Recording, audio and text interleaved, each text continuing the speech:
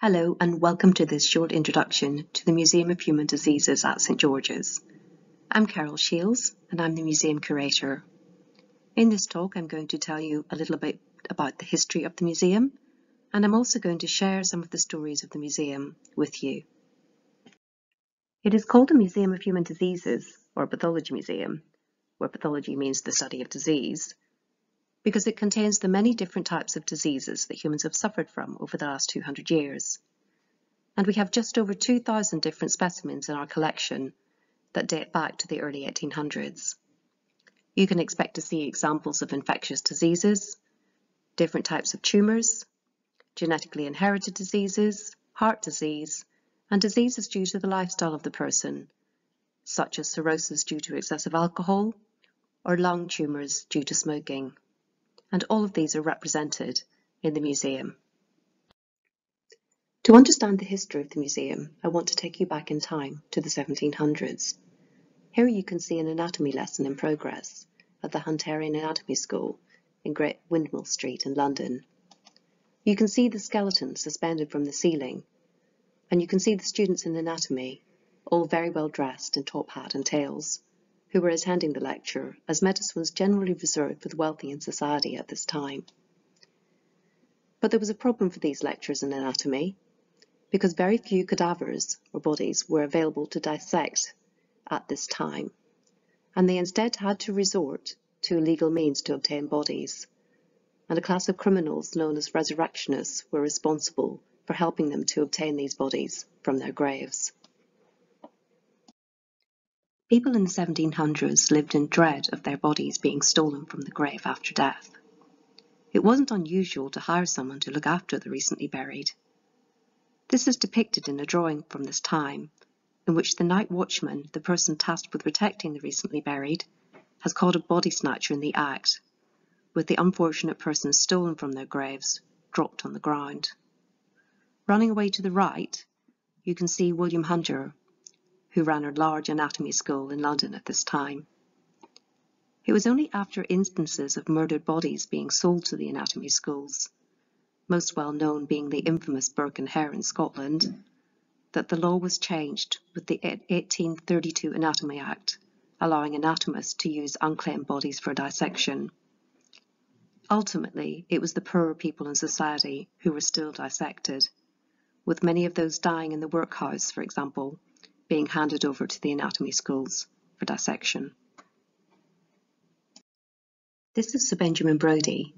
Like William Hunter, he was a well-respected surgeon who worked at St George's for many years, as well as being a surgeon to the royal family.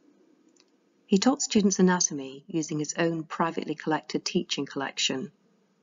It's worth noting that having your own collection of human organs depicting human diseases wasn't at all unusual at this time although of course it would be illegal today.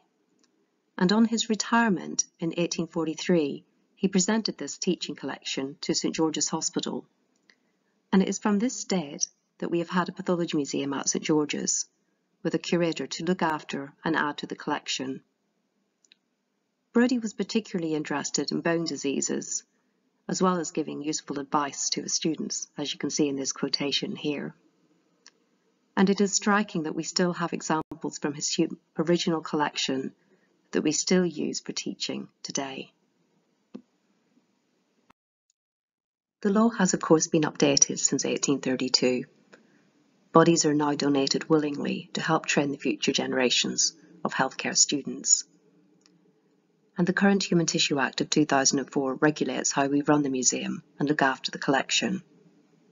We are not currently adding to the collection, Instead, we aim to maintain and conserve this unique heritage and history of human diseases for the future. Let's learn a little more about what the collection looks like.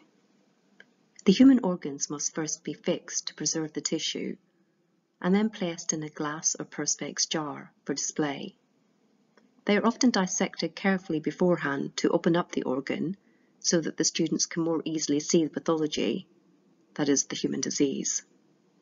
Here, for example, in the middle, you can see a very old example of a stomach that has been dissected open to show stomach cancer. The pots are often referred to as specimens, This may seem like an odd term, and I think it can sound rather clinical and detached, but it is a common term to refer to a sample taken from a patient, particularly for the diagnosis of disease. The museum collection gives us a unique insight into the history of medicine and the different diseases that people in London suffered from over the last 200 years. This is the spine of a patient with tuberculosis, a condition known as Pott's disease of the spine. You will know that tuberculosis infects the lung, but it can also spread through the bloodstream to infect sites outside of the lungs. Here the infection of the vertebrae of the spine has caused the spine to collapse. Before the development of antibiotics, tuberculosis was incurable, and we have many examples of this disease in the museum. We used the collection to support teaching at St George's. In this example, the students can learn more about heart disease. We provide labelled diagrams and accompanying information on our virtual learning environment. Here the heart has been dissected horizontally, with LV indicating the position of the left ventricle of the heart. The patient has had a heart attack, what we call a myocardial infarction, in which the blood supply to the heart muscle has been interrupted and this has led to the heart muscle being deprived of oxygen and dying.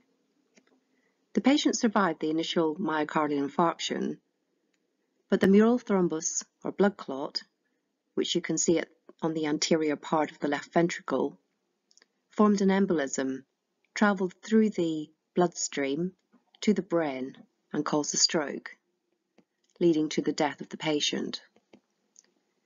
Many students let us know that seeing the diseases in the museum in this way helps them to understand the lectures and tutorials from a visual and different perspective.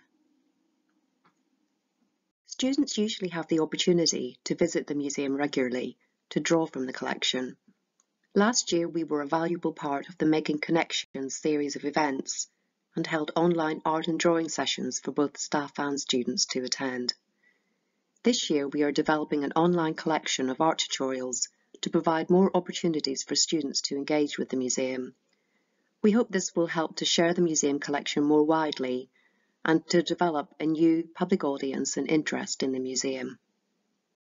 If you'd like to keep in touch, you can catch up with us on Instagram at SGUL Museum Archives. Thank you, and I hope you have enjoyed hearing about the museum.